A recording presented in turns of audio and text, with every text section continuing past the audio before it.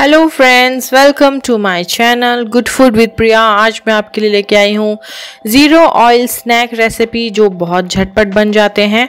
और ये देखिए, सबसे पहले हम बनाएँगे रोस्टेड फॉक्स नट्स तो सबसे पहले मैंने पैन में यहाँ पे पीनट्स डाल दिए हैं। आप अपने टेस्ट के अनुसार ले सकते हैं, ज़्यादा कम पीनट्स ये देखिए, मैं इसे रोस्ट कर लूँगी अच्छे से मीडियम फ्लेम पर जैसे ही पीनट्स हमारे रोस्ट हो जाएँगे, मैं यहाँ पर डाल दूँगी मखाना फॉक्स नट्स ये देखिए, मैंने यहाँ पे लगभग एक बड़ा बॉल जो है मखाना लिए हैं।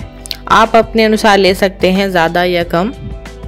इन्हें अच्छे से रोस्ट करने के बाद मीडियम फ्लेम पे मैं यहाँ पे डाल दूँगी एक उबला हुआ आलू, जिसे मैंने कट कर लिया था। अब इस तरीके से हमें टॉस करना है इसे। ये आलू जो है अच्छे से हो जाए, ये भी भून जाए हल्के हल्के। बहुत टेस्टी लगता है ये खाने में और बहुत हेल्दी रहता है।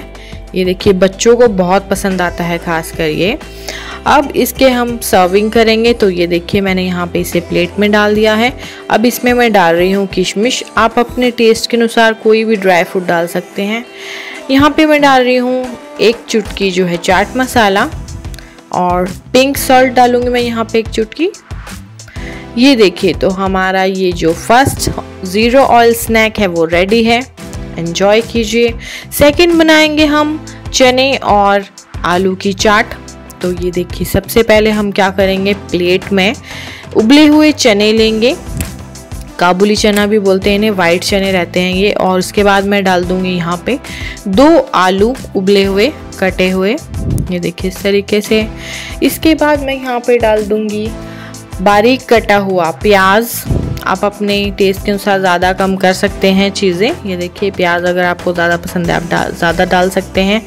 इसके बाद मैं यहाँ पे डाल रही हूँ दही, फेंटी हुई दही है ये।